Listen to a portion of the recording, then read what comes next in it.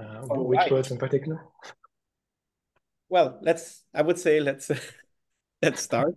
So now uh, for the second part of this double feature, we will have Marcus Sperling, who will tell us about decay and fission of magnetic quivers. Take it away. All right, uh, thank you. Uh, thank you everyone for joining um, on a Friday afternoon, and uh, thanks Antoine for you know laying the groundwork. Um, so the plan for the second part is essentially that I want to go through a complete example. So here, really a complete example where we know everything in terms of classical Higgs mechanism, and then we go through decay and fission and growth subtraction, and just uh, just reiterate what are the differences and what are the points that we can now take away. And once we have this uh, cleared up, I quickly show the uh, Mathematica notebook that is also available on uh, Antoine's website, and then we're going to have some applications to some more interesting theories in four, five, and six dimensions. And then the end, we uh, have a summary and hopefully some discussions. Um, so let's jump into an example. Um, complete example in the sense that we uh, know already everything that happens on the Higgs branch because we start from a Lagrangian theory with an SU5 gauge theory that has uh, a number of fundamental hypermultiplets and two antisymmetric hypers. So here we can, as Antoine has introduced in the beginning, already trace out the, the nested singularities of the Higgs branch by using partial Higgsing in particular branching rules. And that would give you a, a diagram or graph that is the one on the right-hand side. So here I start on the bottom. That's basically the origin of the Higgs branch. There's no vacuum expectation value uh, turned on. The gauge group is completely unbroken. And then I start uh, tuning the vacuum expectation values to some minimal thing that I break the gauge group in some sense to a, a smaller group. And then in the end, if I trace it out everything, I get this nice diagram. And for the same uh, theory, you can actually do the, the entire process of either decay fission or growth subtraction because we know what's the magnetic quiver. So at the beginning, I just briefly review, uh, in case you have not seen this before, how to get the Higgs-Von Schaffer diagram from partial Higgsing just in two examples to uh, illustrate the, the, message. So we start, for instance, by um, the, the, point at the bottom, so SU5, and then the first step to do is just to uh, write down all the possible continuous subgroups of this SU5. And then all these possible subgroups, they already uh, endow a natural partial order just by inclusion. But then, of course, you still need to check whether you can actually consistently Higgs to that subgroup. And that comes, uh, or that's the point where you need to check the, the branching rules. So you need to check whether actually uh, all the, the fields that are not any longer living in the adjoint of the SU5. So that thing that should become a, a massive W boson actually is becoming a massive W boson. Right, so you need to make sure that starting from the adjoint of SU5, decomposing it into the adjoint of SU4 plus everything else, you need to make sure that everything else really becomes massive, such that the residual gauge theory is really just an SU4.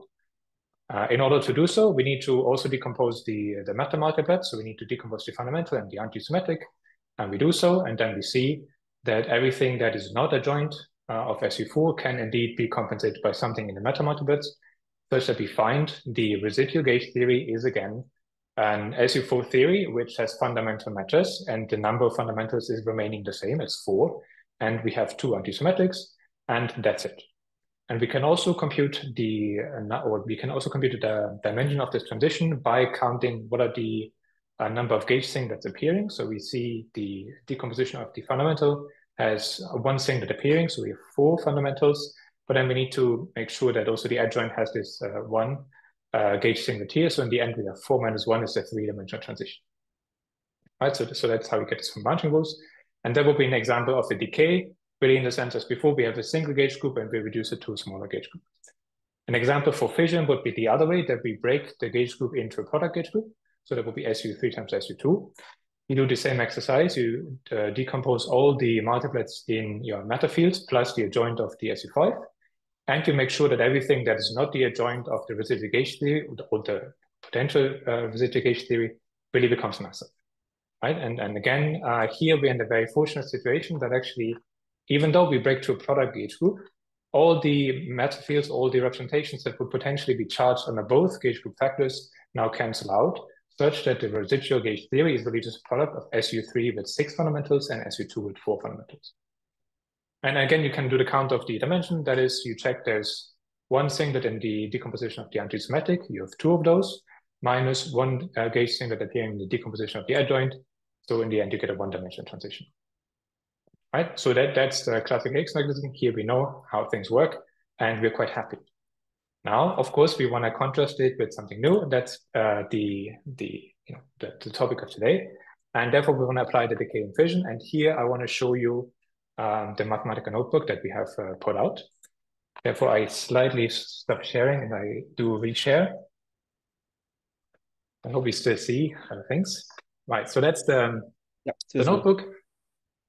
And um, so there's there's some part here that says code. You essentially just have to execute this one. Um, and then there's some examples which uh, we already put in.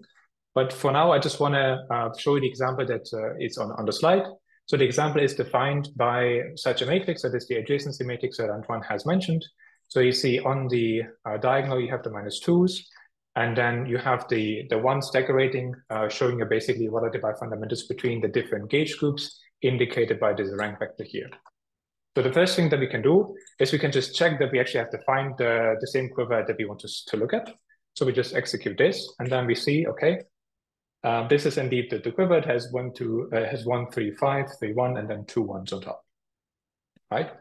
So once we are sure that we're having the, the correct quiver, we can then apply actually the algorithm, which is just called fission decay. Green and is balanced, blue is overbalanced. Green yes, is blue is overbalanced and green is balanced. Correct, correct. Um, right. So once we're happy with the quiver, we hit the, the, the program, and then you get a list of all these um, quivers, which then correspond to the leaves. And then you get also the diagram of where they are supposed to sit, right? And then you see that the starting point, so the, the, the quiver six is here at the bottom. And then for some reason, the, the arrow is pointing in the other way as in my slide, but the, the way you should read this at the bottom is the six. And then you see there's a five, which is a quiver we'll discuss in a moment. And there's an eight here. That is indeed this fission uh, product. What happens and, if you uh, do the bad quiver in the program? Yeah, it doesn't. It, it doesn't. It doesn't do anything. It, it, has to be good at the beginning. Okay, okay. Yeah. Maybe a related question. Why do uh -huh. you have zeros in the middle? I could imagine setting every node to zero except the two very bottom blue nodes and having them be two disconnected ones. Why does something like this never happen? This again, you want to set everything to zero except everything to zero except the two that are one at the top in that picture. If you so those two. Uh, okay, sure. Set everything to zero except those two. But then the twos are not good anymore. Mm. I mean, if you just have the single two, so two is not the good, right? That's not so the reason, you, the reason you get away from okay, so this is somehow the reason why you don't get some completely horrendous number of things the restriction that the the thing be good. Right. The restriction is you start from the same adjacency matrix you just reduce the rank vector and the quiver needs to be good defined mm. by these conditions. Okay okay very good. In in the in the picture that i showed you know with the dots and the lines so the, yes. you're, you're really in a cone. So you are the intersection of a lattice and a cone which is quite narrow actually. So most most lower quivers are not good. Only those which are inside this cone are good, and that's what. Mm-hmm. I see. Very good. Thank you. Okay. What's the uh, computation cost of this procedure, this particular thing? Well, I just did it live, so that was, uh, I would say, less than a second or two seconds. It is very fast, even for the for the big curves I show in the, in the back. It's uh, very fast. So it's not exponential in uh, time. Okay. No, it, should be quadratic uh, in the total number of rank. So you, you, you can you can put a quiver of dimension, I don't know, 50, and it will still do it in less than a second. Let's see. So that that's that's a, um, uh, also another difference with the uh, quiver subtraction algorithm, at least the code we have, which is very complicated because you need to scan through a very large number of subquivers. And so all of this is avoided here. Um, I see. Okay. Yeah. Okay, thanks. Let me uh, share again now the slides, if I can find them. Here we go. Right. Uh, right, long story short, so the first step, the algorithm does, as you have seen, it just gives you a list of quivers, and then you need to arrange them according to how they're ordered, and that is basically this diagram here. And then first observation is that the quivers that you obtain are indeed the magnetic quivers for the theories after Higgsing. So if you look at the SU5, you go to SU4, and then you get uh, this corresponding magnetic quiver. This is indeed the magnetic quiver for this theory. Similar, if you would look at the uh, fission into two, so the SU3, SU2, you need to get a product of the corresponding magnetic quivers, right? So that is the, the point to appreciate. The second step is then that we compute the transition geometries as a secondary step. And for the decays, as uh, advertised before, it's really just quiver subtraction. You start from the initial quiver minus the final quiver, you do quiver subtraction, and you get the, the corresponding quivers that describe the uh, transition geometry. Right? And uh, then the next step would be, of course, now we can compare to the other algorithm that we already had, and we can see what is the difference. And the difference should be, uh, well, first of all, you see there's now two sets of quivers, and you have sort of, you know, two, two types of arrows pointing in different directions um, because they describe different things. So what, what do they describe? The quivers that we obtain from quiver subtraction, they, as I said before, they describe the magnetic quivers for the theories after Higgsing. So if you think about um, those vertices describing the symplectic leaves, then they describe always the transverse slice to the top. On the other hand, if we go to quiver subtraction, then we always compute quivers for the symplectic leaf. So we describe something starting from this point point to the bottom, which is the closure of the symplectic leaf. Right. So so that's why the quivers being at the same vertex in the Hasse diagram do describe different things. One describes the transverse slice to the top, the other one describes the leaf. You also see that the shape of the quivers as advertised is substantially different. On the left-hand side, everything is just defined by the uh, adjacency matrix that defines the initial quiver. On the right-hand side, God knows what's coming out because you have a set of uh, a set, of, or you have a set of uh, minimal degenerations that you are allowed to subtract, and then you, you do whatever it comes out, and then you see that the, the, the quivers are very, very differently looking. You have to introduce decorations. You can get non-simply laced uh, quivers from a quiver that is simply laced at the beginning. So therefore, um, both algorithms compute different things, but they can be used in synthesis to extract the entire information that we want to know. Yes. Um, can can you consider this as um, some uh, slice in an affine Grassmannian of some affine type uh, algebra? What was the question there? This uh, quiver in particular? The, yeah, the the this yeah this subdiagram as a slicing in a affine Grassmannian. Maybe, but uh, hmm? I don't think so. No. Of affine type. But, but it's okay, not, not but... just affine, but like there are two overextended nodes. Anyhow. I mean, here the, the, the message is just you have this quiver and you, you compute the Hasse diagrams. If the quiver happens to be a quiver in some affine Grassmannian, yes. Mm -hmm. oh. But it's not so much depending on the algorithm than on the theory that you're looking at. Paul says in indefinite type. I see. Can you explain uh, what this means, Paul? Okay, I, I don't want to. Uh, okay, thank you. Sure. Um, uh, okay, then any questions further to this point? Otherwise, I'm gonna go to some examples in other dimensions. So just to clarify, the reason why oh. the, the quivers are different is that on the left you compute slices and on the right uh, closures of leaves. If we yes, could we compute yeah. Yes, the left computes slices to the top, right? Because they are magnetic waves of the theories of the Higgsing, so they compute the, the Higgs branches uh, above each point in a slice uh, in a in a leaf, and the right one computes the closures of the leaves. Okay, very good. Right, then after this uh, complete example where we had the full information on the Higgs branch already beyond or be before using the magnetic quivers, we can now go to examples where we have where we are in a less fortunate situation where we sometimes do not know the entire information already. And the first example is one of these uh, four-dimensional Argyres-Douglas theories, in particular one that is defined by a sphere with one regular and one irregular puncture, which is in this particular example a so-called D9 SU6 theory. And for those theories, we are in the fortunate situation that various people in the audience have computed the magnetic quivers. So we can literally just take the magnetic quiver and plug it in the algorithm.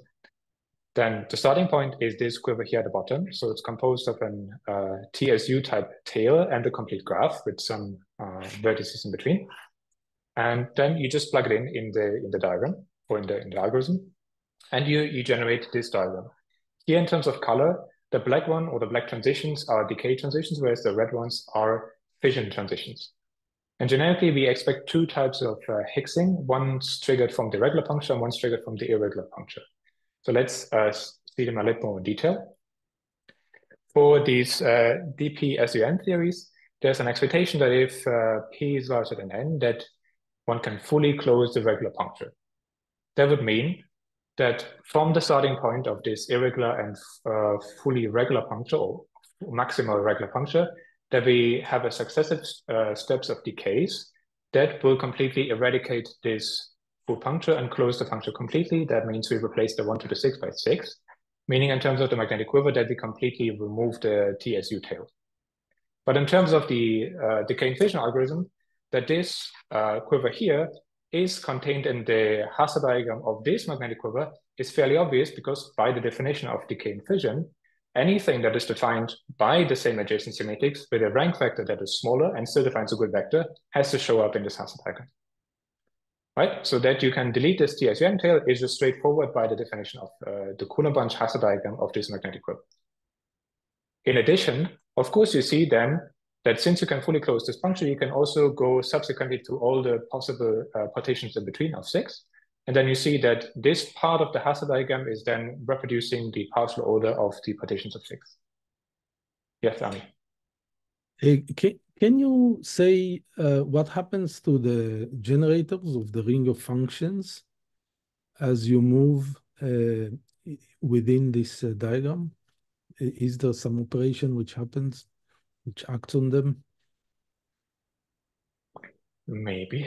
I haven't thought about it too much because then then um, so in the in the physical system you you will have uh, a set a set of generators and you you you get some degenerations and you want to see some kind of uh, evolutions of those generators um, I mean, so those ones are, you know, you have a, a flavor symmetry and you turn on a, a nilpotent VEV, and then you, you break from from one six to a smaller partition. But so so what what precisely do you mean by evolution? Do, is that anything beyond uh, giving a nilpotent VEV? So the the simplest thing, you know, if if you talk about uh, regular Higgsing, mm -hmm um, of things we understand. That you say, okay, there is a Higgs mechanism, and you have uh, some gauge fields which become massive, and you you're reducing the number of degrees of freedom. And, uh, so explanations along these lines. Um, I don't know what's the right thing. This is the adjoint Higgs mechanism, no? Basically. Yeah, yes, Coulomb-branch Higgsing for this group. So you could start with UK with n flavors, you reduce the K. That's basically what's happening. Just yes. Yeah. yeah. Yes, I mean that, that, right. So remember the. So then it's I clear this... functions even like we know which ones go away. Yeah. So remember the the, the 3D medicine tree setup. You have uh, the Higgs-branch Higgsing on one side, and you have the Coulomb-branch Higgsing on the other side. And, and that one also tells you why the shape of the quiver has to be the same, right? Because the only thing that they're moving is really just uh, uh, D3 branes uh, off along the NS branes. Um, so the, the shape of the quiver and the position of the flavors is the same. So the shape uh, is uh, invariant under this Higgsing. In contrast to, to the Higgs-branch Higgsing, where you do move the flavors around, but then the invariant quantity is the, the balance instead of the shape. That, that's the key feature of adjoint Higgsing, right? So the right. Like, if right. flavors, you go to UK minus one with n flavors and one U1 that's on its own. And so then we can describe exactly what, like we know how the ring changes even here. Yeah, we can do it quite explicitly. Right. Okay, good. Please continue. Okay. sure. uh, right. So now we we uh, quickly have seen the regular puncture, but then there's also, of course, the irregular puncture. Uh, and now it's not moving. Oh, here we go. So the, the irregular puncture is also expected to sometimes contribute Higgs-branch uh, directions, um, but as far as I'm aware, uh, less uh, systematically understood. In terms of the magnetic quiver, we know that the irregular puncture is essentially encoded in the complete graph.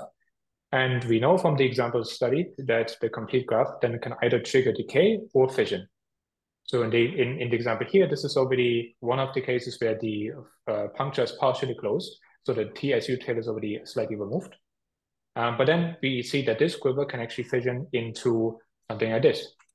That would mean that we uh, fission the, uh, the, the theory defined by a sphere with a uh, not maximum but still regular puncture and an irregular puncture into a theory which is defined by a regular irregular puncture times just a sphere with an irregular puncture right? On, on the other hand, if we move one step further in, in decay and then uh, we're having a theory like this, then we see here that actually the complete graph can now trigger a decay because in, in this uh, next step, we see that the complete graph is removed by one node. Right, so irregular puncture can undergo both decay as well as fission. Okay. Now, next is that we can apply the sort of the, the algorithm also to various uh, 5D SCFTs, for which we're in a very fortunate situation that there's a, a long list and catalog of magnetic quivers that we can look at. So what uh, we essentially did, yes. Um, sorry for the many interruptions, but no worries. In the class S theory, so the rank mm. drops, right, of the so do you have some brainy way of thinking about this or some? Uh, you mean uh, in here? Down here, yeah, yeah, yeah, yeah. Um, not quite yet. Okay. Not quite yet. Mm-hmm. Okay. But apparently there is some um, there's some paper by Denchier that uh, Lorenzo has uh, pointed out to me that okay. apparently captures this somehow maybe, but um, I'm not quite sure yet how to translate. Mm-hmm, mm-hmm. mm-hmm. So this goes from SU6 to 2 SU4. Yes. But in general, could it be different ones? Have you looked at those examples or? Uh, what, what do you mean different ones? So like, like, oh, you did the, the product being different ones? Exactly. Yeah, yeah, yeah. This is mm, a problem. I think for the ones we have looked at, not, but uh, maybe. Mm, okay. Not sure. Not sure. Right. Um, and, and so going back to the 5D theories, so essentially the, the, the thing that we did is we looked at 5D SQCD theories with uh, some fundamental and one anti-symmetrics. And then we know there's a, the variety of families, which are sort of here drawn in these columns. And in, in a family, so the, the number of colors and numbers of flavors is uh, linked. And then there's some Chern-Simons and then the families sort of change or differ by how this relation between color and flavor and the Chern-Simons level is, is about. And then what we do is we just take the magnetic quivers for these various SQCD theories. We compute the first generation of decay products, and then we identify back which uh, F5D SQCD theory this magnetic quiver could correspond to. Then of course you see there's the, the to be expected Higgsings uh, which remain in the same family. So that's usually fundamental flavor Higgsing. But then there's also a variety of uh, Higgsings that go in between um, these SQCD different families. And so that, that's kind of one nice way how you can, can then use this algorithm to really interconnect various types of 5D SQCD theories and then potentially other more complicated larger theories. Right? And then finally, for um, the last example in my last uh, seven minutes, is uh, some six-dimensional theories for which we also know there's a variety of different uh, studies have been going on in the past. Here I want to look at a simple example, which is four and five branes on an A-type singularity near the M9 domain wall and the trigger embedding into the 8 holonomy. And then we get a 60 quiver description, which uh, looks like this. So we have the the eight clover symmetry on the right hand side, and then we have a ramp of SU gauge uh, algebras going to the left. Uh, we know those magnetic quivers, and now what we do is, is again the same. We want to use the magnetic quiver to study the fundamental G-flows of this six-dimensional theories. You can take this very, very long looking quiver and you know you see there's a rank of 24. You can type it into the uh, Mathematica notebook and you can hit enter. If you hit enter, you get a diagram which doesn't look as beautiful as this one, but after some rearranging, you get a diagram that looks sort of like this. And then you can see there's a lot of uh, things going on. There's a lot of decay going on. There's a lot of fission going on. So what you then do as an next step is you then translate back the magnetic quivers into six-dimensional theories. And then you get a diagram like this. And again, there's a lot of things that we, we, we can look at. There's, of course, uh, decay transitions or sort of uh, nilpotent Higgsings that most of, of you will be mostly familiar with. So for instance, if we look at the starting point here, we see it has an E8 global symmetry factor here. If we then um, sort of Higgs this away, or if we shrink this minus one curve, we get an E8 transition. We get a, a new theory, which is defined by a curve configuration with three curves. And now the global symmetry on the MT minus one curve is an E7 because there's an SU2 gauge symmetry here. We can further Higgs this one again, then we get a curve configuration with two. Now there's a gauge symmetry on the uh, minus one curve. We first of all Higgs the, the gauge symmetry away, then we get an empty minus one with an E6 curve symmetry, and so forth. So we can Higgs systematically the flavor symmetry on the right-hand side until we reach the E-string theory, and then we do the final E8 transition. So this one is, uh, I assume, mostly understood. Um, then you can also see there's um, fissions. So if you, for instance, Higgs the flavor symmetry on the left-hand side, you get a six-dimensional generalized quiver description, which looks like this, which can undergo a fission. This one in particular. So how do we understand this fission in terms of magnetic quivers and in terms of uh, six-dimensional theories? So in terms of magnetic quivers, the starting quiver for, for this theory here is uh, something like this. And now the, the corresponding quivers on the right-hand side is essentially this quiver minus an affine 8 Dynkin diagram quiver, which would be the, the corresponding quiver for the E-string theory. And now we also see why this fission is possible, because we see basically if you align this uh, affine 8 Dynkin diagram with this initial quiver, then you see it stops at a 4 here. And you see that the 2 next to it is uh, overbalanced.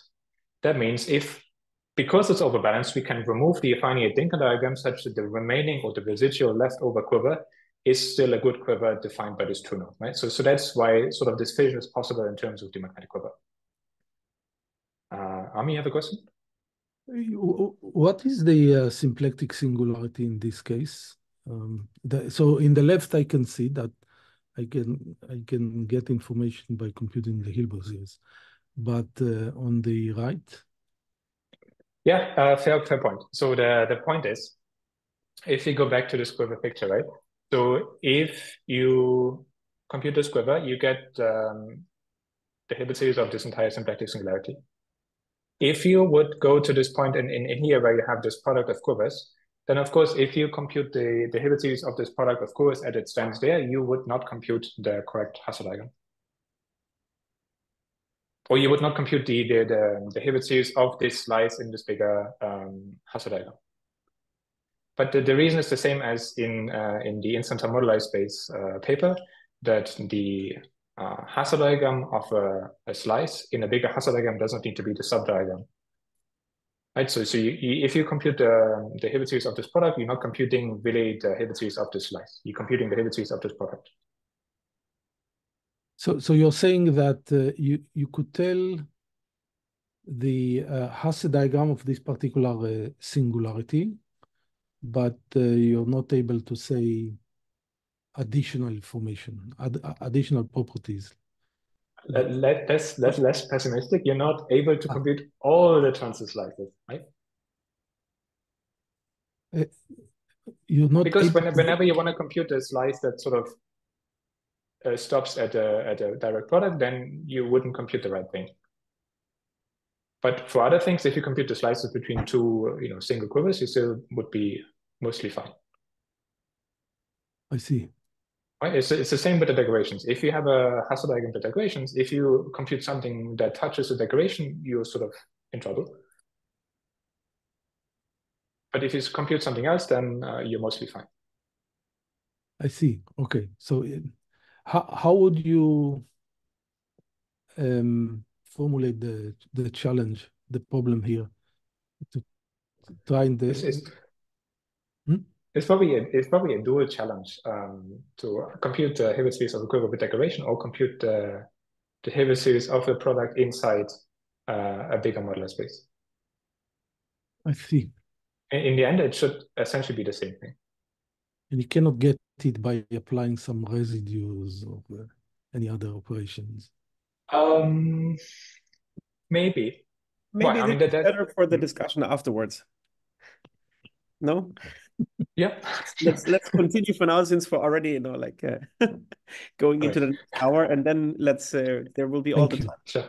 sure. Very good. Um, good. Then let me go back to this fission example. Uh, I told you why it's sort of possible on in terms of the magnetic quiver.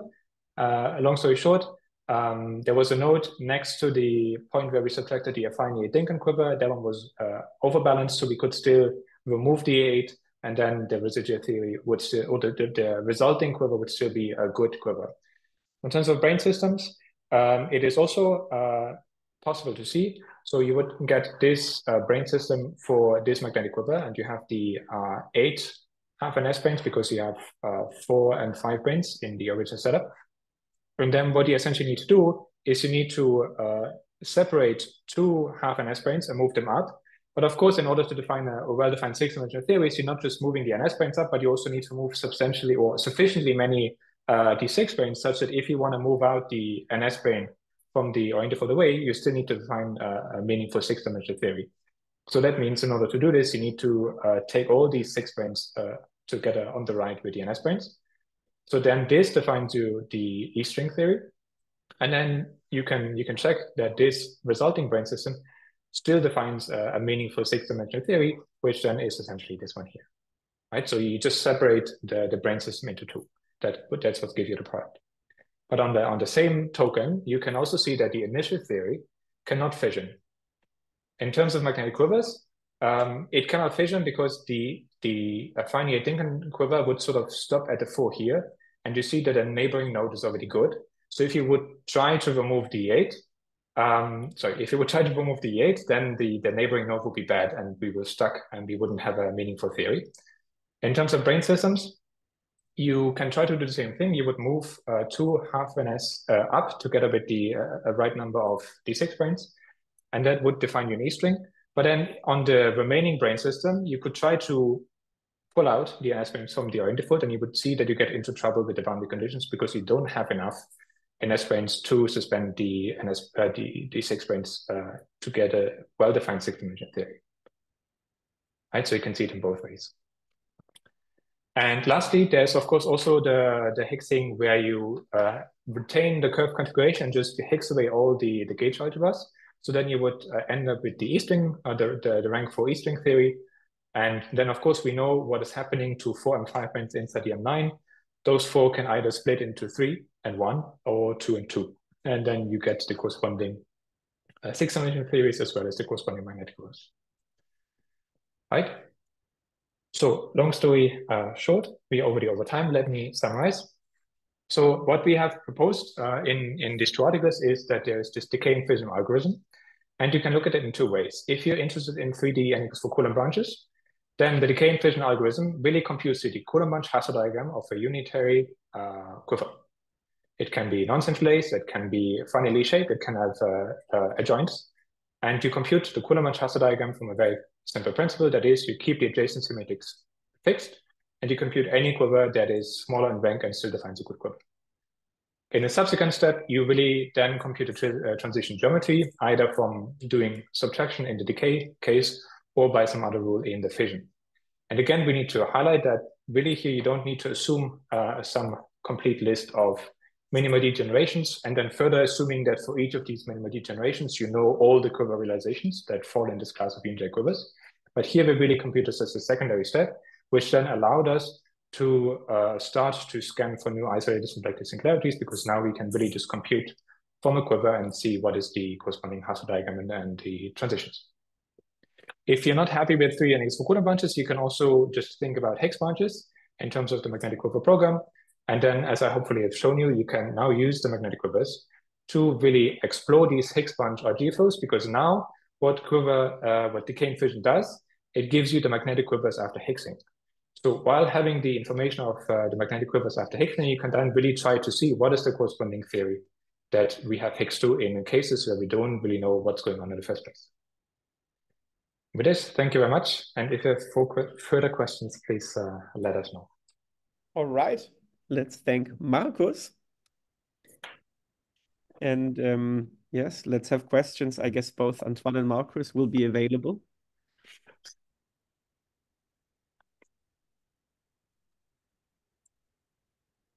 Hello, I, I, I, you mute, please. Oh. I, I do have a, a question. Uh, is there a problem uh, when you have adjoints or in, in, in some of the nodes? No. No. Okay. Okay, maybe I have some harder questions. Answer yes. No, the, the basic one is no, there is no problem. So in the um, in the adjacency matrix, you just put the number you know, in, instead of minus two, you put minus two plus two times the number of adjoints and just run with it. Okay, the only problem, uh, let's not hide it under the, the carpet, is we, we don't fully know what is the geometry of the transverse slice corresponding to fission. Um, in this case, if you have many adjoints. And I think this will be, well, Julius told me that there is some work in progress or, um, uh, so yeah, th there is there is a little ambiguity about the the geometry of the triangle slice. Maybe actually I see that Chunhao is here as well, so maybe he knows. I don't know exactly who who is working on this, but yeah. Maybe Maybe but for the diagram, it's it's completely you know it's it's just the yeah, the yeah. geometry. Thanks. Oh yeah, uh, and to add to Antoine's comment, yeah. So when you have uh gauge rule with many different adjoints, and then we do this decay and fission, and the quiver you get after doing this decay and fission with many adjoints is still definitely correct. And this will be the magnetic quiver to some theory. It's just that the transverse slice before and after this is the mysterious part. But the end product, we know for sure what it is.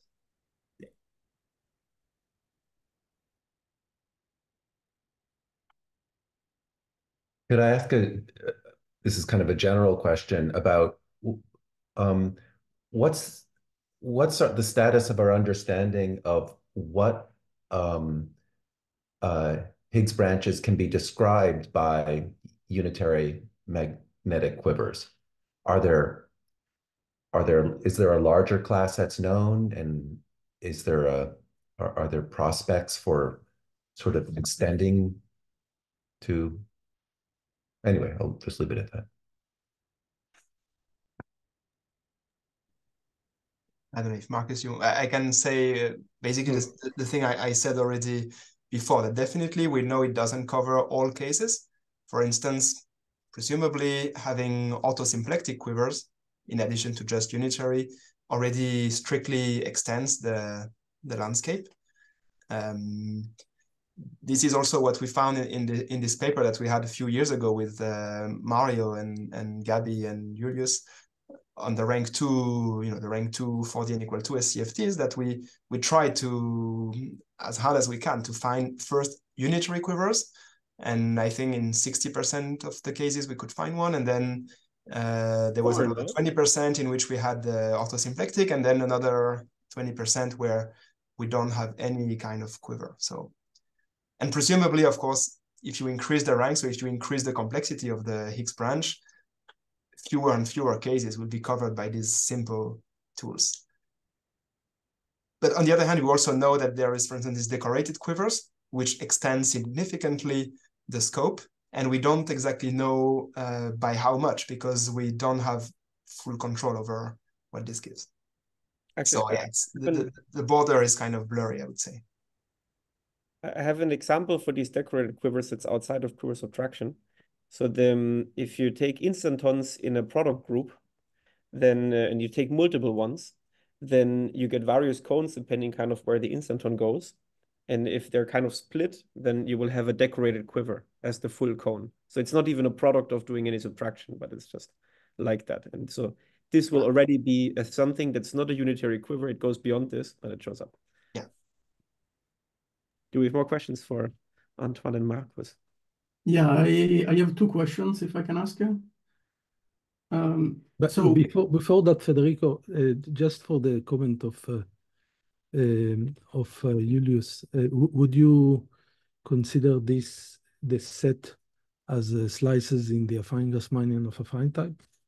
No, it would be like like a product of two affine things, maybe. But it's not so simple. It's not just an affine group and then you take slices in the affine Grassmannian. Mm -hmm. Go ahead. But I can I can show them at some point. Okay, so I have two questions. One is that since this algorithm seems uh, extremely simple, have you tried to do exactly the same thing for orthosymplectic quivers? That's the first question. Mm, not yet. I mean, just literally the same. Keep the same quiver shape, reduce the nodes, keep a balancing condition, and uh, check in some example if uh, you reproduce a non-Russell diagram. It's um, it's quite it's, it's quite tricky because um, the balancing condition for orthosymplectic quivers, like how defined by Gaiotto and Witten, we, know that there's many quivers that violates this balancing condition, but nevertheless, the Coulomb branch is a perfectly fine hyperkähler cone. So I see. then it gets tricky because yeah, if the Hilbert series for these theories always diverge, then I cannot know which one is which. But uh, I think one example is T4, because there's a dual between orthosymplectic and the unitary side. It's very non-trivial, but both should give the exact same Hasse diagram. So if one's able to reproduce this on the orthosymplectic side as well, I think mm-hmm. this is a thing. But I always have challenge. I couldn't, yeah, for this one. I see. Um, okay, thanks. And so the second question that I have is in your uh, prescription, when you look at the smaller quivers, uh, you want only the good ones. Uh? So I was thinking if you relax this and you allow also for ugly cases, then uh, this will be dual to a, quiver with same shape with reduced gauge node plus collection of free twisted hypers. So can you use, and you also already have uh, the smaller quiver, the good quiver, without this information of the, the number of twisted hypers uh, in your uh, collection of uh, smaller quivers. So can you use this extra information to say something about the dimension of the Coulomb branch part that will be on top of this Higgs branch leaf that generically is a mixed branch?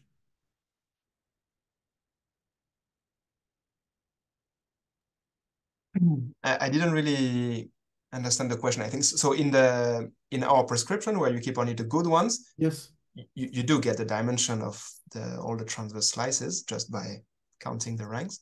So what what do you want to what do you want to add the ugly ones? I'm saying if you add, the ugly ones and then you do a, a sequence of Gaiotto dualities, this will be equal to a quiver that has a same shape, uh, all the nodes will be good, plus some collection of, uh, free twisted hypers, right? Yes. Then, uh, then this will be equal to a quiver that you already have in your list of smaller quiver, plus an extra information. That is the one of how many free twisted hypers you have.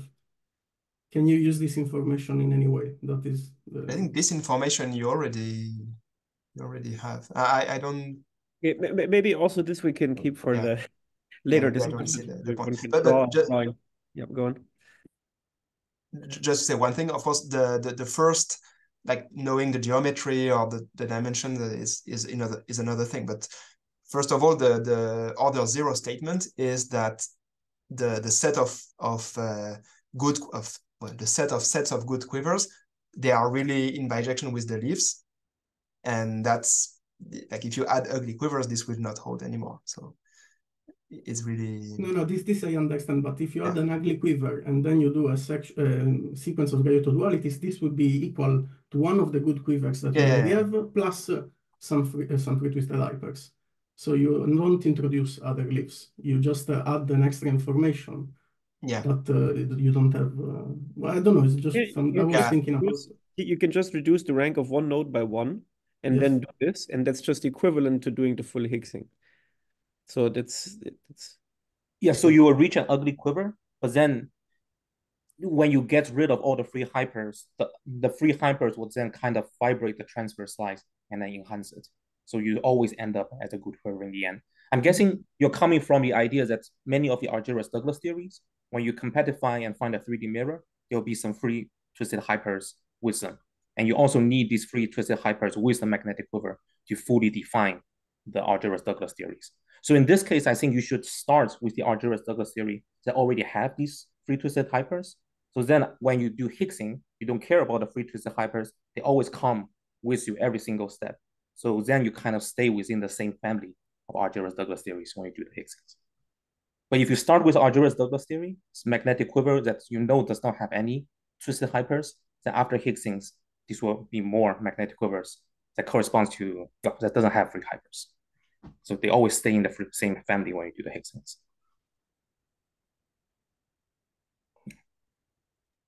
Okay, do we have more questions for Antoine and Marcus?